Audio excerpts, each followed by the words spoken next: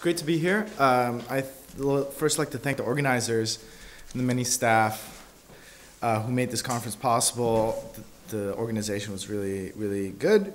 Uh, and I would also like to thank uh, Nathan Brown for having constructed such a precise context for discussion and, uh, and disagreement. Um, and so the starting point provided here uh, by the title no doubt alludes to the definition given by the Eleatic stranger in the Sophist, in Plato's Sophist, for existence. I quote, I suggest that everything which possesses any power of any kind, either to produce a change in anything of any nature or to be affected, even in the least degree by the slightest cause, though it, though it be only on one occasion, has real existence. For I set, set uh, for I set up as a definition which defines being that is nothing else than power. So, uh, end quote. So, in, in, the, in the crucial sort of end of this sort of middle section of the sophist, um, Plato has the Eleatic stranger make this definition of existence, which is a power, capacity to affect and to be affected. So this follows after a heated discussion of what it means for the false to exist. Indeed, speak, um, to speak of the existence of the false is to speak of its power. But what is this power? The irrationality of the false follows from the condition set out earlier by the stranger when he asserts that, quote, you recognize that he who says something must say one thing. And then a few lines later, uh, he says again, when I called it, that is to say, non being, irrational, inexpressible, and unspeakable, I address I address my speech to it as singular, end quote. Hence, the stranger continues, quote, if, if one is to speak incorrectly, one must not define it as either singular, to, speaking of non-being, neither uh, as either singular or plural, and must not even call it it at all. For in this manner of referring to it, one would be giving form of this, giving it form of the singular. End quote. Hence, to speak of non-being is to speak falsely.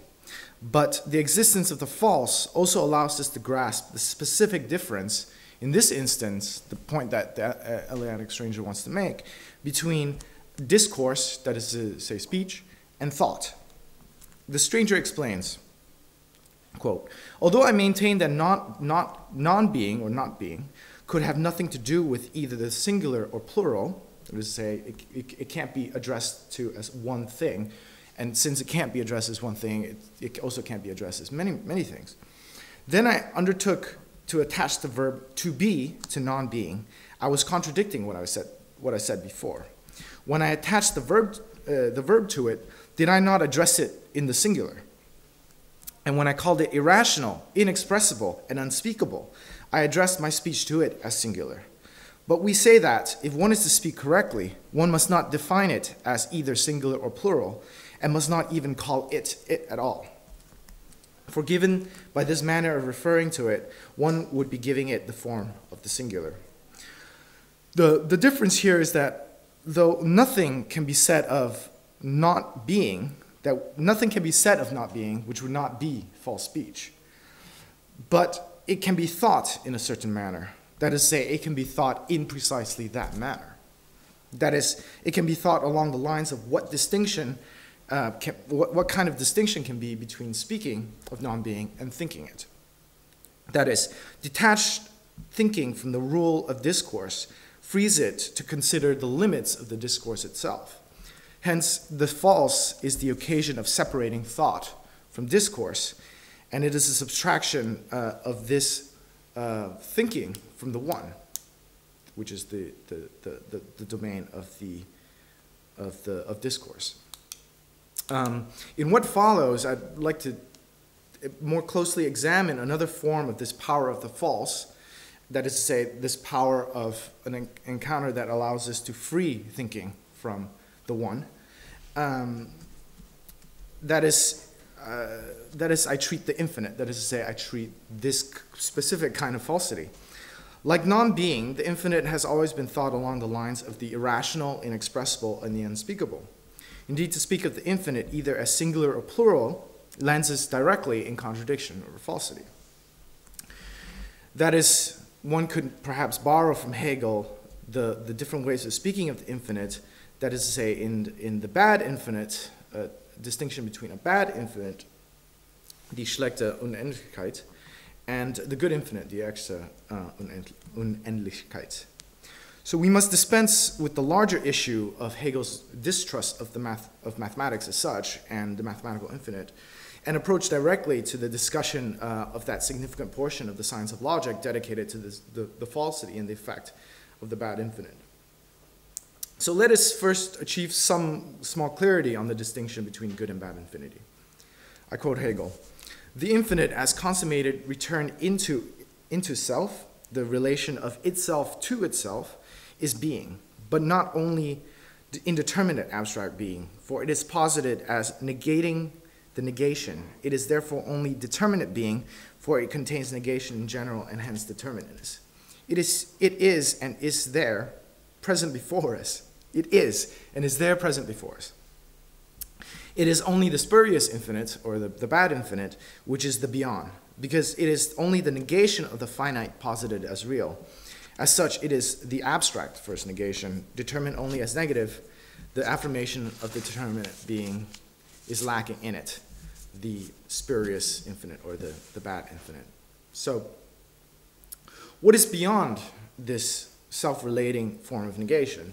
Since all means of grasping the infinite as separate from finitude necessarily limits the infinite form of the finite, the infinite must be a relation of this limit to itself through its overcoming. That is, if a bounded thing supersedes its bounds, then it is precisely in relating this supersession as the immanent reality of that thing that infinity is genuine, or the good one. Um, finitude and infinite constitutes uh, something of a dynamical inseparability here. Hegel argues that, quote, um, quote, the reason why understanding is so antagonistic to the unity of the finite and the infinite is simply that it presupposes the limitation and the infinite, as well as the in itself, as perpetuated in doing as, as perpetuated in doing so. Oh, sorry. It's long Hegel's long sentences. Um, sorry, let me go back. Quote, the, the reason why understanding is so antagonistic to the unity of finite and infinite is simply that it presupposes the limitation.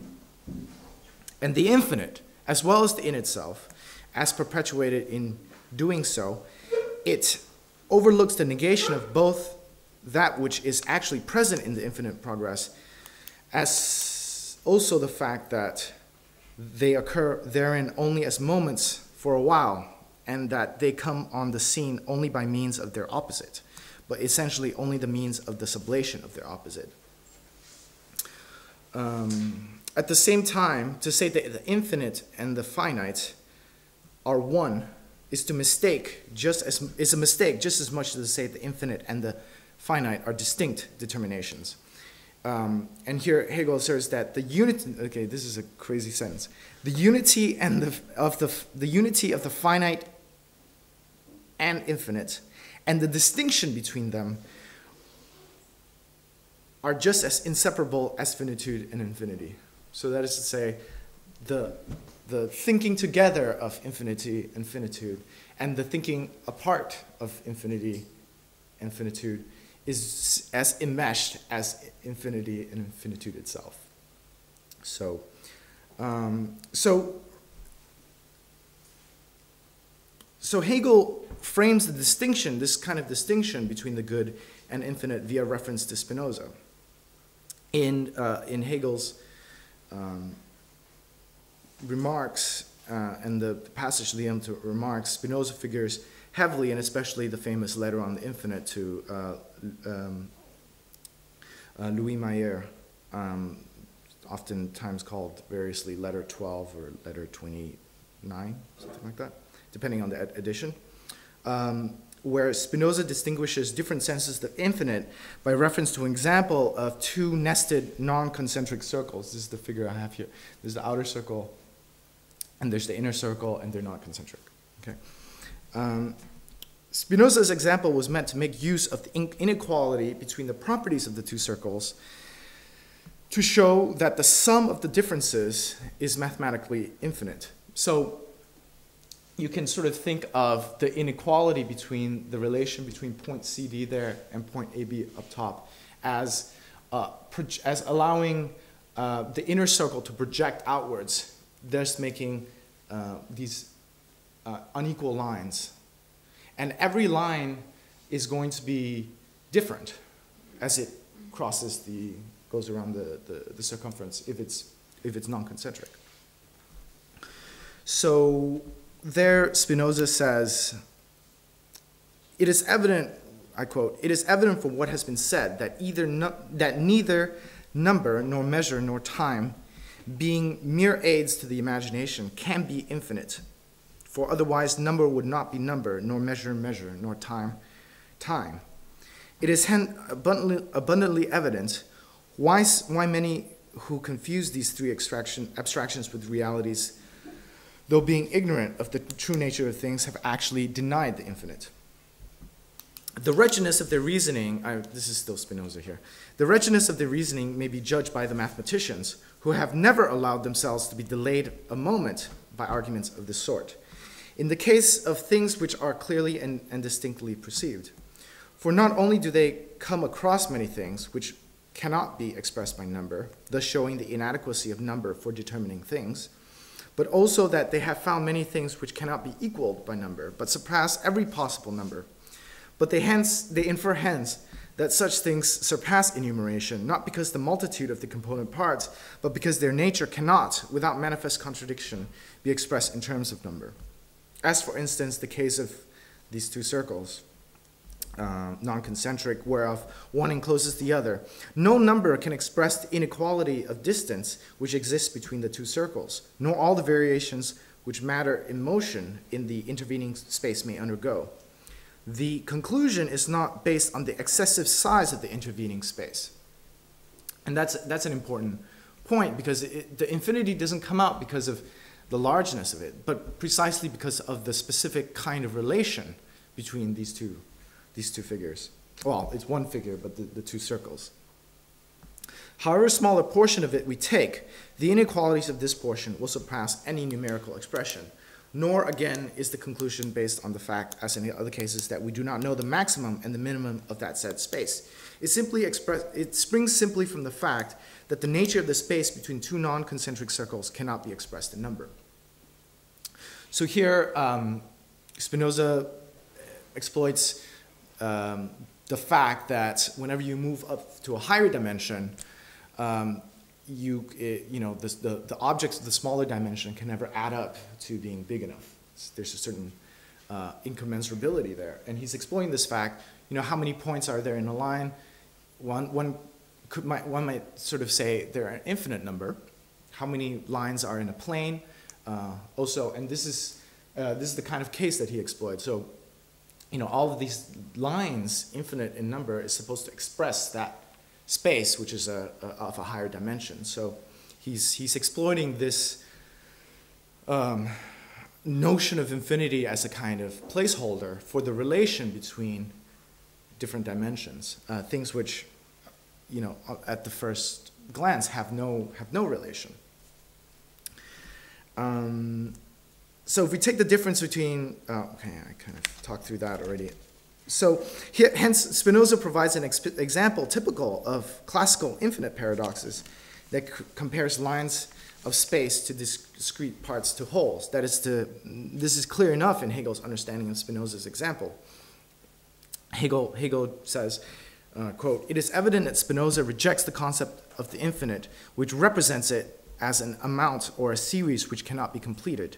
And he points out that, that here, in the space of his example, the infinite is not beyond, but actually present and complete. Quote, end quote. So, given what I've quoted from Spinoza and given what I've said, I've quoted here from Hegel, it's clear that Hegel misunderstands Spinoza. Uh, insofar as the latter makes it clear that mathematicians have not, that Spinoza makes it clear that mathematicians have not fallen into this trap. Spinoza here is on the side of the mathematician who claim for the mathematical infinite, who, who do not claim for the mathematical infinite any specific status. Hegel and Spinoza hence agree on the example, but place the mathematicians in different camps. So this misreading of Spinoza is relatively minor to Hegel's general aim. Um, his use of Spinoza is, uh, in short, one of, one of agreement. Um, and I quote again from, from Hegel Spinoza calls the infinite of a series the infinite of the imagination, what we've already seen in the quote. On the other hand, the infinite as self relation he calls the infinite of thought, or infinitum actu. It is namely actu, actual infinite, because it's complete and present within, within itself. This goes back to, end quote. This, this goes back to the uh, distinction between genuine and uh, good and bad infinite before, because the good infinite is that which is complete and uh, related to itself. So we shall then call, uh, so the mathematical infinite diagnosed by Hegel via Spinoza is also a misnomer insofar as Spinoza himself does not think that the math mathematicians have made such a mistake for conflating the indefinite, which is the, the series, the, the, you know, the series that never ends, the, the, the number that is as uh, a number bigger than any number you can give, uh, with the infinite. So we'll call this the bad infinite, following Hegel's term, with the caveat that although Hegel associates this with, mathemat with, with mathematics specifically, that is a, a, that is a misunderstanding. Um, so nonetheless, Spinoza does provide two versions of the infinite, the infinite self-relation and the infinite qua indefinite. Hegel's further criticism of Spinoza is that the latter does not go far enough with the philosophical and metaphysical infinite, which is for Hegel equally insufficient. That is, the philosophical infinite remains only on the abstract level of the absolute, taken as negation of negation of the indefinite. Hence, the Spinoza's infinite only negates the mathematical indefinite rather than rendering the true uh, superiority or the transcendence of the infinite to this negation. Um, this, as Hegel remarks, quote, with Spinoza, substance and its absolute unity has the form of an inert unity, i.e., a, a unity which is not self-mediated, of a uh, fix, fixity or rigidity in which the notion of the negative unity of the self or subjectivity is still lacking. End quote. Mere negation of the indefinite renders true infinity waiting in the wings. Uh, its entry into the scene requires a more concrete form of this dynamism of self-mediation. The genuine infinite in Hegel requires the sublation of the two we have been discussing here, a simple negation of the infinite qua immediate infinite, and an alternating determination of the finite as, uh, as one-sided infinite. Uh, that is to say, the this transcending sublation of the genuine infinite, which is um, I quote again from Science of Logic, um, that finitude is only, a, sorry, finitude is only as a transcending of itself. It therefore contains unity, uh, it contains infinity, the other of itself. Similarly, infinity is only as a transcending of the finite. It is therefore essentially, it therefore essentially contains its other and is conse consequently in its own self the other of itself. The finite cannot be sublated by the infinite as by a power existing outside of it. On the contrary, the infinity consists in sublating of its own self. Um, Hegel's distinction between the good and the bad then placed, uh, placed on the crucial form of that inf uh, of, of infinity, which, um, in which the certain qualitative feature of, the, of infinity stands over its quanti quantita quantitative feature that it somehow expresses numerically. That is, the infinite is a kind of relation, but a relation that relies not on some pre-given infinite object, but rather the way in which finite things come into relation. Hence, the pre-given unity of self-relation quality governs over the distinction between good and bad infinity. And via Hegel's discussion of Spinoza and also his long discussion in the science of logic, the problem of the infinite remains that of an impure relation, and the bad infinity is what expresses this impurity, um, which, which is what makes it bad. Um, this kind of interminable uh, addition of, of, of, of yet another that does never builds beyond that. Um, it remains always on the level of, of quantity. So the relation of quality and quantity is such that a quantitative relation could never be established on this basis. Um, so any grounds of infinity on this account is false. Any, any grounds for providing inf, uh, a concept of infinity that is not this self relation is false precisely because it renounces the form in which the infinite is given. The infinite as one is mere contradiction. It is only maintaining the oppositional relation between the finite uh, between finite things that the infinite can be thought.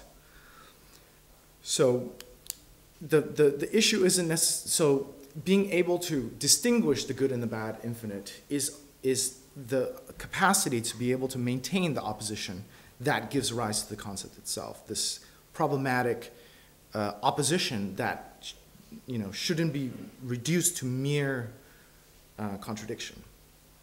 Here, the historical examination of the infinite could uh, shed some light because it brings together, um, sorry, excuse me. So the historical examination of the infinite uh, brings together mathematics and philosophy in a natural way because, because the historical forms of the infinite were in so indissociable from its per peculiar form of presentation, that is, the, the form of the paradox. And it is through this form of the paradox that the infinite is always used, whether in a problematic or non-problematic way.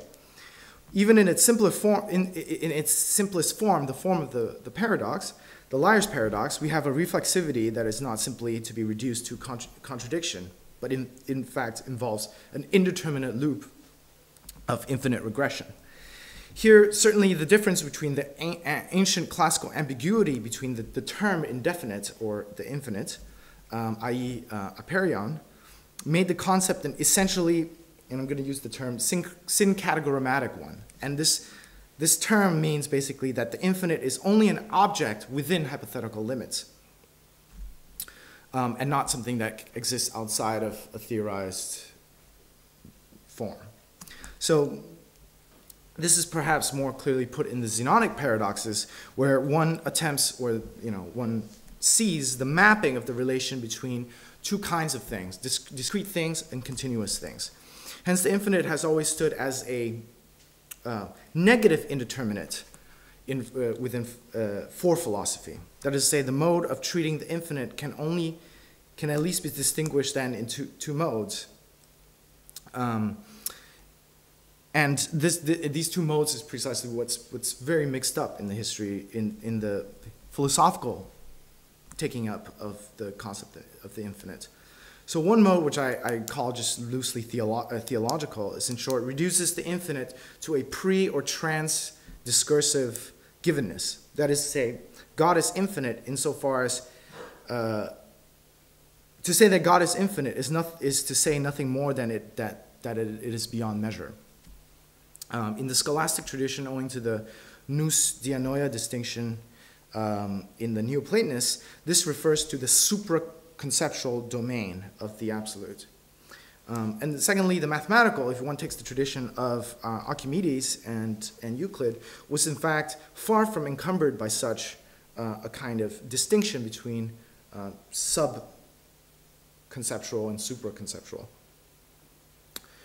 Um, of course, the infinite in question with the Greeks was a form of potential infinite that is, um, is a form of potential infinite, the kind that's given by, by um, Aristotle, where one never arrives at the final division, for example, to take uh, Zeno's, the Zenonic paradoxes, one never arrives at the final, final cut, as, as it were.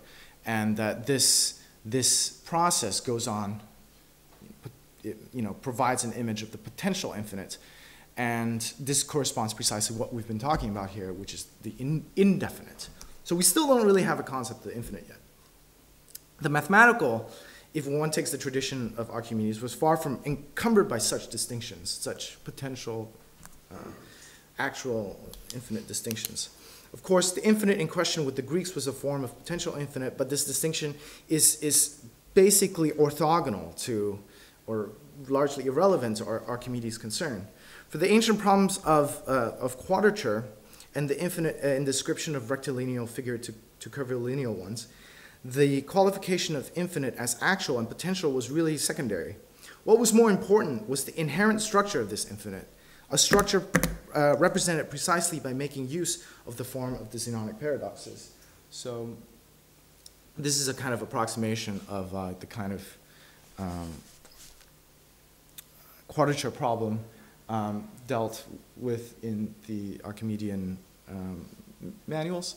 And we see here basically the attempt to um, describe the curve, the circle, with lines, with, with straight lines. So to try to map the structure of this curved line onto the relation between straight lines. Because uh, the relation between straight lines can be calculated, uh, whereas the, the ratio of the circle to these lines were, were a mystery. But you know, if, if we already started out with, under, with thinking of it as an indeterminate process that will never be completed, it seems almost absurd to, to, to enter into such discussions. But what we can get out of it is actually, um, is actually to use this indeterminate relation to actually provide um, a structural relationship between, um, between mathematical objects, like such as the curved line and the straight line, or uh, such as the, actually I don't have the, no, I don't have the uh, a, a figure for um, the attempt to map uh, three-dimensional objects onto two-dimensional objects, but that's also something Archimedes does. Um, and so, um, so this is what I, I want to say that uh, what, what, I would call an externalization. Um, the function of this mathematical mode of thought is thus an externalization, whereas the paradoxes of the infinite provide the external limits for reckoning the one and the multiple, in the mathematician's hand, it is, uh, oh, sorry, sorry. Whereas the paradoxes of the infinite provide the external limits for reckoning the one and the multiple at the mathematician's hand, it is, it, this very move is for the philosopher what provides the matter for understanding the immanence of totality. In this, if we take a long historical view from the Eleatics to Kant's antinomies, in fact, not much has progressed in the, in the philosopher's infinity um, everything remains still stuck with this idea, also repeated by Hegel, of the mathematical infinity as a kind of indefinite, um, along, the, along the lines of the Zenonic Uh, infinity. So, in this sense, unless, right, in this sense, unless forced to make a philosophical statement, the mathematician has, for the most part, saw the importance of the infinite paradox as the starting place of investigation, not, at, not as its limit. Quadrature, dimensional analysis, me mechanics, etc. That is the logical qualification of the infinite qua indefinite, or infinite qua actual or potential, uh, has never but stood at the limits of the philosophical evaluation of mathematics. The problem of, uh, for example, mathematical roots that stood at the very beginning of systematic mathematics, the Pythagorean, um, the Pythagorean root, root 2, is thus completely orthogonal to these qualifications um, or irrelevant.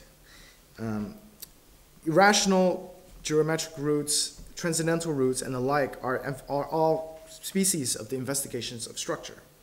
The mapping of the hypotenuse to the side, or the map mapping of the radius to its circumference, or um, these provide a classification of roots, a classification of structure.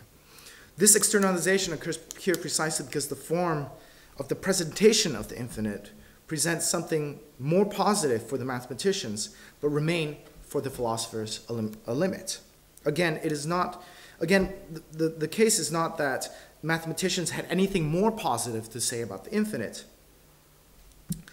um, than the philosophers. In fact, they didn't. They used the infinite to allow them to talk about other things, right? To let them talk about the structure of a, a curved line in terms of straight lines, for example.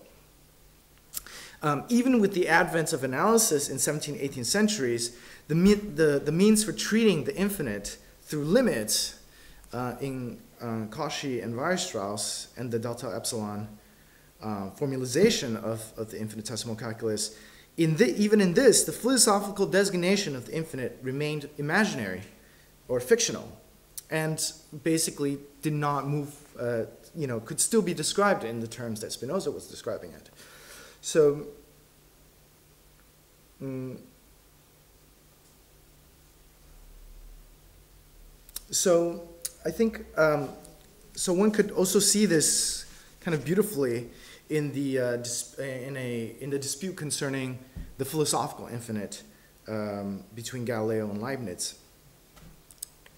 In the first day of the two new sciences, uh, Salviati recognizes that the infinite number of all whole numbers is equal to the cardinality of any proper part of itself, like the, like the set of uh, all square numbers.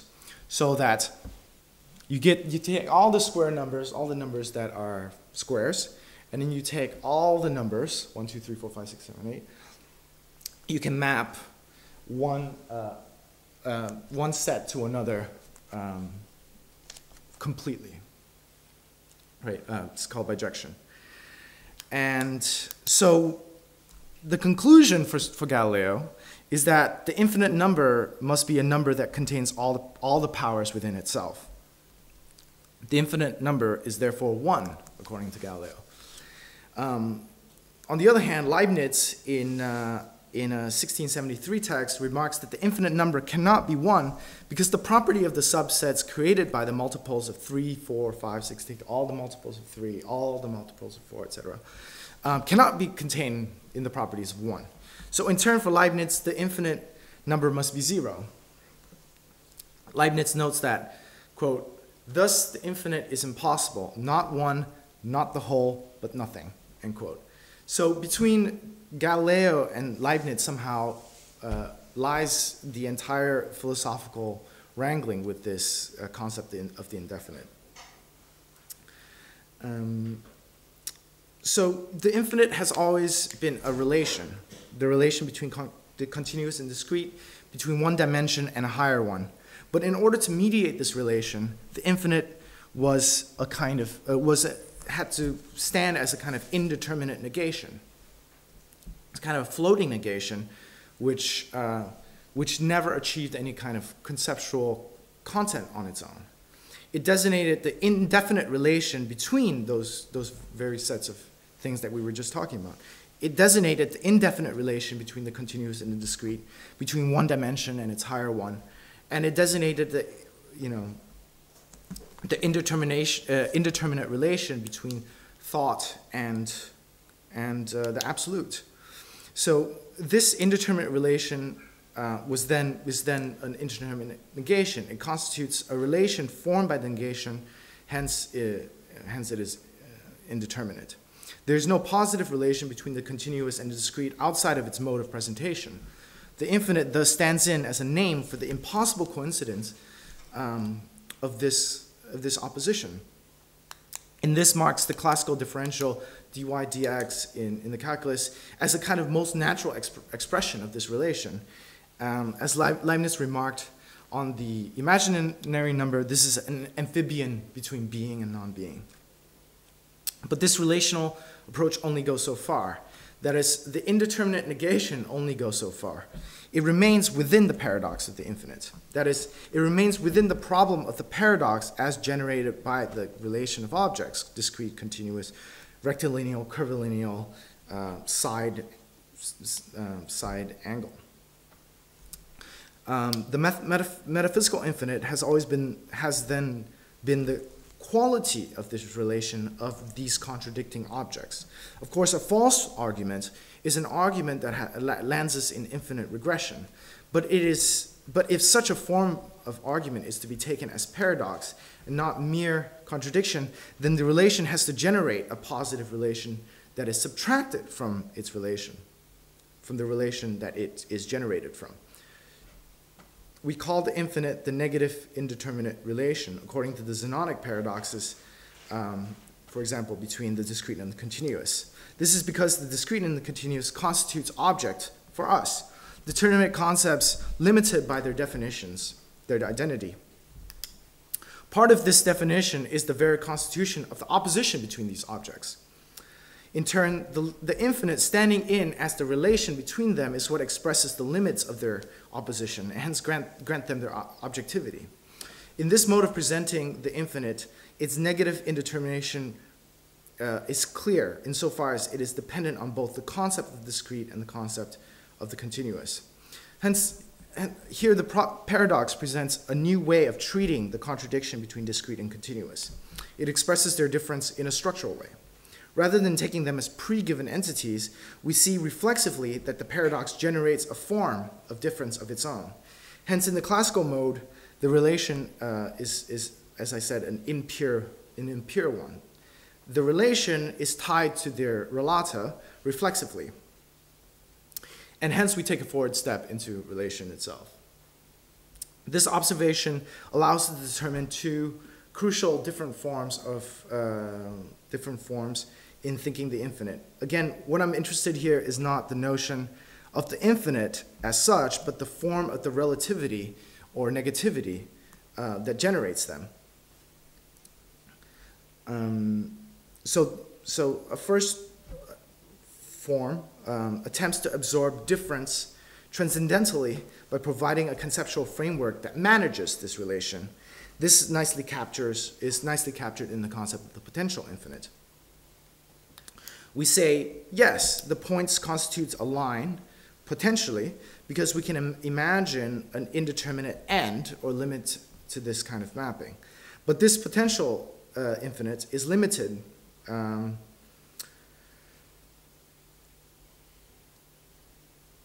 is limited, wait, a form of, right, this, uh, this, this potential form of the infinite is limited insofar as it, it um, cannot, it is incapable of grounding itself conceptually, but depends on the ontological priority of the things that it's being, that it's wanting to relate. So it depends ontologically on the objects, the relata, that generates it. So this is the kind of thing we've been looking at up to this point. So the kind of thing we found, find in Spinoza and also in Hegel. The second, inaugurated by um, the trio Dedekind, Cantor, and Frege, and this is, um, I, I suppose, the step into so-called modern mathematics, is the structural infinite. So it's, it's the taking of, of structure as more crucial than the things being, being related. So we can speak of, since this period, since the late 19th century, we can speak of a positive infinite in math mathematical speak, or even an actual infinite, um, vis-a-vis um, -vis the so-called, uh, you know, Cantor's paradise that uh, David Hilbert uh, gave, said in a speech. But Dedekind, I argue, presents not so much a, a revolution in, in, in the content of the, con of the content of the concept, but rather a revolution in method. Um, that is, I argue that Dedekind produces a deracination of negativity of the infinite as a relation torn away from the relata. So this, is, uh, this results in a theory of structure. Though I speak primarily of Dedekind, I want to say the structural mode of thinking can also be traced back in some ways by a subterranean passage uh, backwards towards antiquity, um, and I've been fascinated recently by um, uh, work on Archimedes, uh, Archimedes' Method, which is a book that was lost for 2,000 plus years, and recently uh, rediscovered and, uh, and, and being deciphered, uh, where um, in the method, proposition 14, Archimedes uh, um,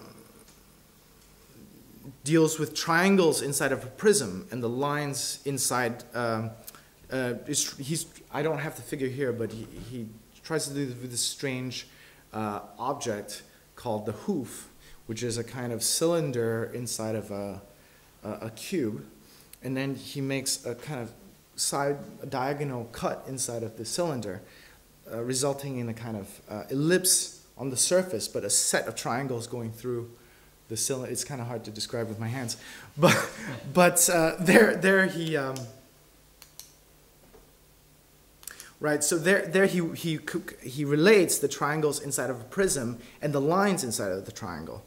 Um, and what's surprising about this text is that we know from a contemporary perspective that this is, this is correct.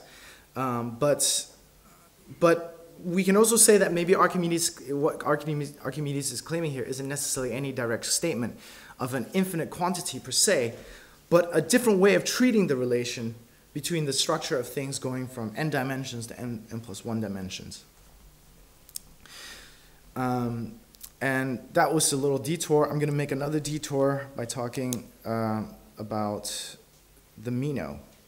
Um, so this kind of thing, this kind of thinking where one simply maps one set of things with another set of things and trying to see what's, what is given by the map is, um, is the kind of class, is the notional, classical notion of the slave's knowledge.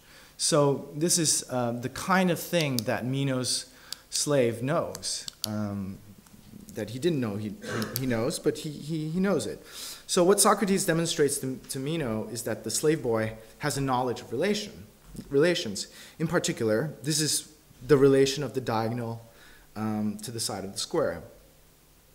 Um, and we could maybe, I would, I would maybe want to call this uh, a, a, a, a, distinct form of knowledge called the slave's knowledge.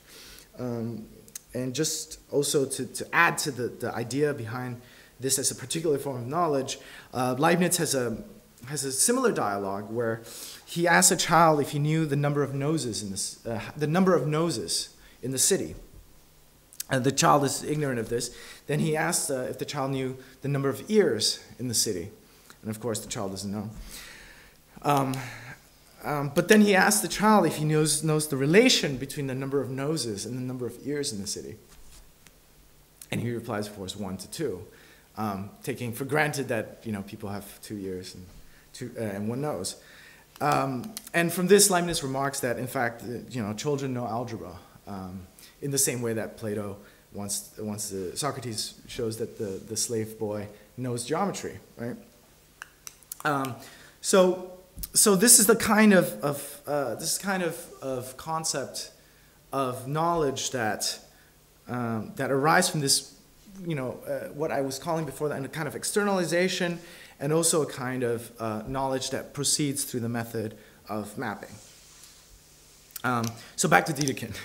Um, in the methodological revolution produced by Dedekind is the clarification of a structural path that has, in a sense, always accompanied mathematical practice. So this is, this is, the, slave, this is the slave's knowledge that is, in fact, a mathematician's method.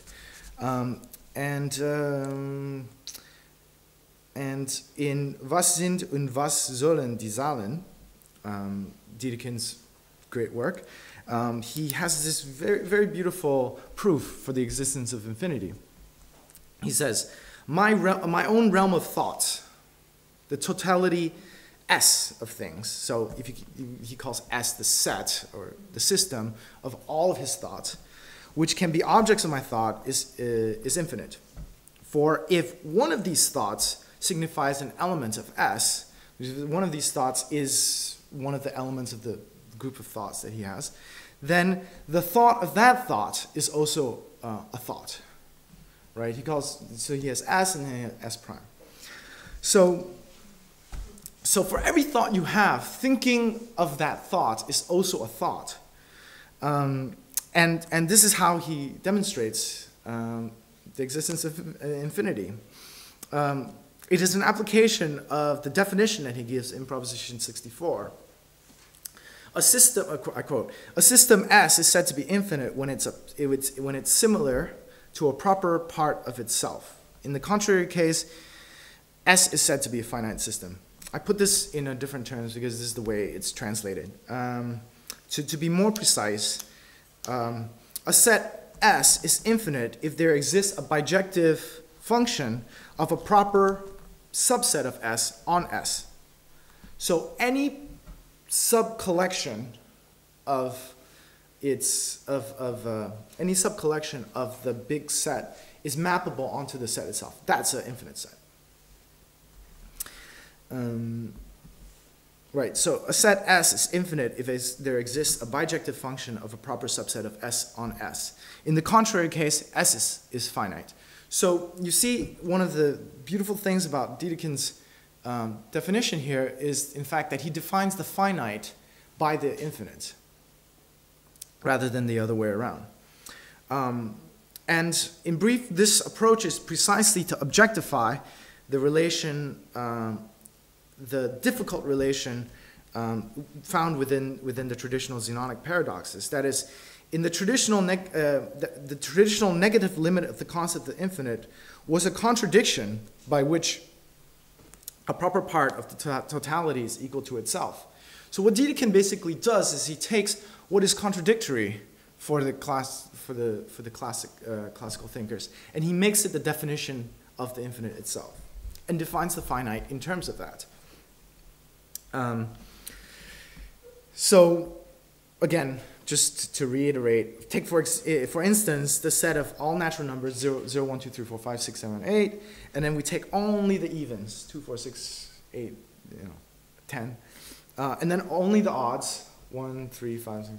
These are all you know, all, the evens belong into the, the, natural numbers, but then we can achieve a kind of um, bijective relation, a complete one-to-one ordering of that part of the larger uh, set to itself. That's what defines the infinite. The infinite. Um, so we have a complete mapping, but uh, you know, whereas it constituted a contradiction for the Greeks, uh, we have a foundational definition based on this thing that at one point existed as, as in the form of a contradiction. Um, so this goes much further in the development of modern mathematics insofar as um, we come to realize that actually we, uh, we, we, we've been working with a very imprecise notion of number so that today the number isn't, you know, there are multiple expressions, for example, for 2 there's 2. Um, there's, you know, 4 over 2. There's, you know, 8 over 4, etc., etc. You know, how, how do all of these things, uh, how do all of these things refer to one unique uh, reference? And it's through this, uh, this, this mode of, of mapping that we are able to classify um, what um, is called uh, equivalence classes uh, which uniquely refer to the numbers that we're so familiar with. So in fact, before this kind of method methodological revolution, I claim uh, we never really had a concept of even uh, of, of the finite even. So um, I would like just to remark on three problems here. First, uh, in the figure of the infinite, once removed from its paradoxical form, also constitutes a remove, removal of the um, a demystification of the infinite as the ambiguous stand-in for the gaps in determination. So this is uh, this removes the infinite from the position of the negative uh, indeterminate. The infinite is determinate insofar as the structure is determinate. The priority of the relation, which constitutes infinite, above the relata. And so this is also, to follow a term um, of, of Alain Badiou, uh, a banalization of the infinite. The banalization constitutes the seeds of a philosophical method, and it is, um, it is the employment of, um, of a kind of reflexivity against reflexivity. That is uh, to say, the employment of the dynamics of the negative arising through reflexivity in order to address a new form of thought orthogonal to the grounds in which negatively arise. So, roughly speaking, that is the the, the, the, the story behind what I've been trying to um, describe here is that um, the, the oppositions, the set of opposition that gave rise to the infinite, um, has been used for centuries, uh, millennia, as a kind of starting place for mathematical practice that wasn't, you know, that didn't really care about these that didn't really care about the, the grounds from which it, it came out, the, the logical um, incompatibility uh, uh, that the infinite represents.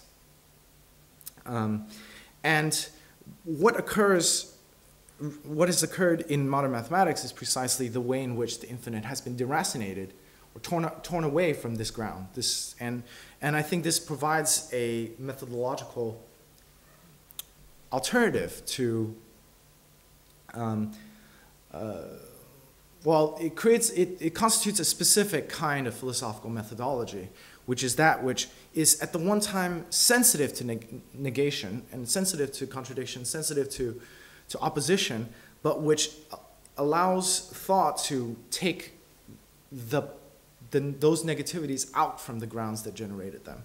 and um, and that's what I roughly uh, describe following uh, again Badiou as um, a subtraction. So so um, in general, the subtractive mode of Badiou's thinking has been taken into um, either a kind of strange Neoplatonic, uh, sort of neo Neoplatonic uh, thing of, of, of being something tantamount to abstraction, where uh, incidental qualities are somehow removed in order to have a kind of generic thing. But I think it really has much more to do with this, his way of dealing with negation. And I think this history of the infinite um, allows us to illustrate this um, so that um, so that, for example, we start with a, a you know, um, contradiction is what draws our attention to a set of oppositions, and then, but then, you know, the, the grounds that generated this opposition is incapa incapable of resolving it. It has to be taken out. It has been drawn out and put on a different, different, um, on a different ground. And so, so if we look at this just really briefly, um, with in Badiou's ontology, I think we, we can get a kind of quick, just a snapshot of how this can help us think. Um, so I'm just going to tell the, the basic story of Being and Event. Okay, so any, any, any thingness of the thing is co coextensive with this unity. But this unity can never be pre-given without falling into a theological mode of thought. Um, that is to say, the irrational necessity of the one, or presence, or a merely ontic designation of objects governed by sui gen generic uh, natural language or the con contingencies of human cognition. The possibility of ontology the theory, that is to say, the theory of being as such, requires the generation of a minimal difference. This is the difference of being as such and its immediate negation, okay? So, non-being uh, and being. It is this relation that generates the minimum difference, but it is also this negation that generates the thought of being as such. That is, without difference, being as such floats endlessly between a quarrel of the priority of its of essence of the one and the multiple, the general and the particular, and so on. So we have this set of, with this, this opposition arising from the attempt to think being, which is being and its immediate negation. But this uh, oppositional configuration cannot resolve itself. So what, uh, what we do is we, we map this minimal difference onto um, onto set theory. This is the move. This is the move uh, made by Badiou. Um, so what basically we do is we count this, this, this minimal difference as the difference between the null set and the void itself. Um, and it is the mark uh, or account that generates this first one, which is a counting of this negation. Hence, the minimal semantic commitments of set theory constitutes, for Badiou, the, the science of this difference itself. That is to say, um, the science of being. And this is perhaps the, the most quick way of defending the often misunderstood idea of the, of the Badiousian uh, equation between ontology and mathematics. So what happens here? We begin with something dialectical and then move immediately diagonally or orthogonally to the negativities generated by the dialectical situation. Sticking with ontology, it is the dialectical nature of, of the identity of being with itself that generates the need for the negative moment in determining the ontological treatment of being as such. Yet, far from the Hegelian slogan, Badiou does not persist with the negative. Instead, as is my main point here, Badiou subtracts from the very opposition that would give rise to the positive negative opposition. That is, dialectics is employed by Badiou insofar as it is used to determine difference and, the, and to evaluate this difference. Um, yet, um, the ter- uh, right. Nonetheless, negativity does not carry uh, does not carry this difference through, insofar as it does not determine the development of difference. One might call this use of dialect, dialectics hypothetical, insofar as it allows us to identify and individuate the locality of negativity. In this sense, something like a subtractive method is not abstraction in the common sense. It's far from a theory of the negation of incidental or empirical features over the formal. A subtractive method is, is one that is inventive or creative in the sense that it displaces, dislocates the locality of negativity in order to constitute a new form of, of, of, discourse. And of course, in order to, for this new form of discourse to constitute itself, that break needs to be thought. That is, rather than remaining within the immanent critique of negativity, the subtractive method cuts off this dy dynamic. To see what this means, we can turn to the problem of, um, I'll skip that section. It's actually not that important. Um, so, so just just to just to to recap that that part, the the the, the point is to is to create some develop some content for understanding what uh, what how this dislocation occurs, and and I think um, the story I was trying to develop concerning Hegel's reading of Spinoza and Hegel's distinction between good and bad infinite is precisely shows you that.